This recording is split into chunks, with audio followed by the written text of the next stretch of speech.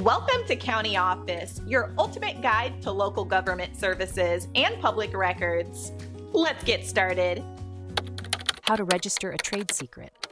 Trade secrets are a form of intellectual property that do not require registration to be legally protected. Unlike patents, trademarks, and copyrights, trade secrets do not need to be registered or filed with any governmental agency.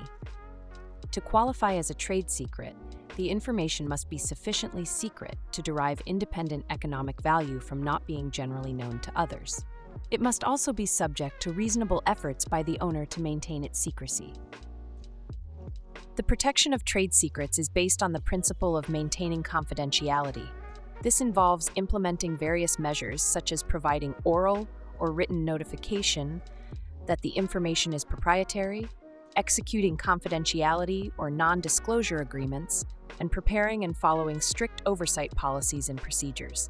Physical protection of the information is also crucial. This can include facility security measures like fences, locked areas, alarms, and ID badges, as well as limiting access to the information on a need to know basis.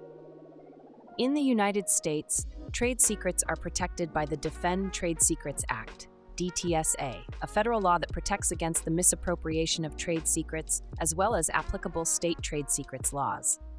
Since trade secrets are not registered, the burden of proof to establish that information is a trade secret falls on the owner.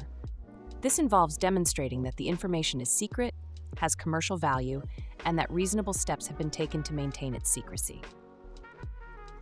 Remedies for misappropriation.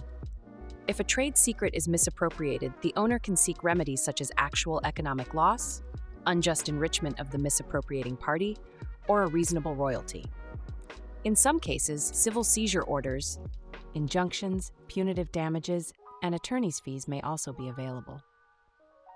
Whistleblower protection. The DTSA includes a safe harbor provision for whistleblowers, granting them civil and criminal immunity for disclosing a trade secret in confidence to a government official or an attorney for the purpose of reporting or investigating a suspected violation of law.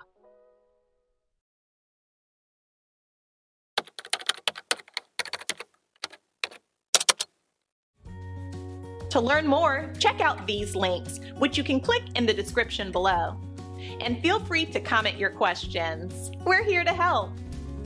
Thanks for tuning in to our video.